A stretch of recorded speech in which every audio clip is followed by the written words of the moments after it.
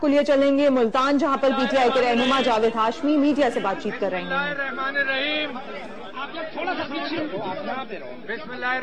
हैं